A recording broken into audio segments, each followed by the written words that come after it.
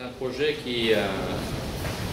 qui, vise à travailler sur l'accès des, populations euh, défavorisées aux politiques publiques. Euh, donc actuellement, on est avec des résultats qui sont, qui pour nous nous satisfassent parce qu'on s'est aperçu qu'un certain nombre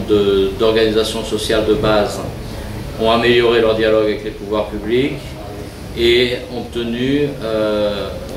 une certaine reconnaissance et légitimité dans leur action et euh, après avoir une meilleure connaissance des politiques publiques, de savoir comment elles fonctionnent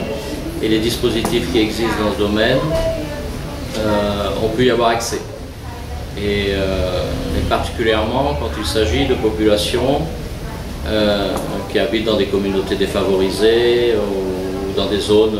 plus ou moins reculées comme dans les zones rurales. Par contre, ce qui est intéressant, c'est la manière dont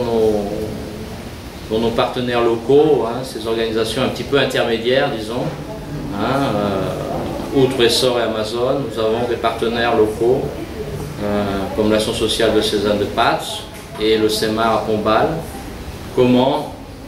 ils sont devenus aussi des interlocuteurs vis-à-vis des associations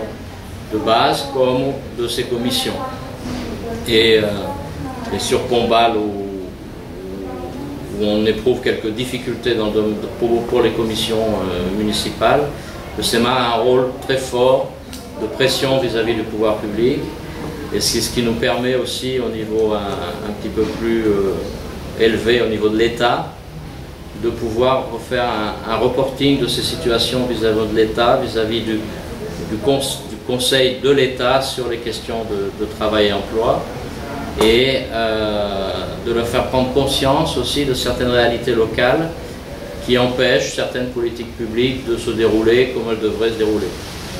Donc tout ce processus, ce dialogue, actuellement on a une phase de du projet, on est en phase de finalisation, mais où on perçoit déjà des résultats euh, dans le dialogue entre les pouvoirs publics, dans la reconnaissance des organisations locales, euh, et ça permet de faire avancer, de, que ces situations ne stagnent pas et de rechercher des solutions. Je pense que le projet a été un petit peu un élément moteur pour ces aspects-là.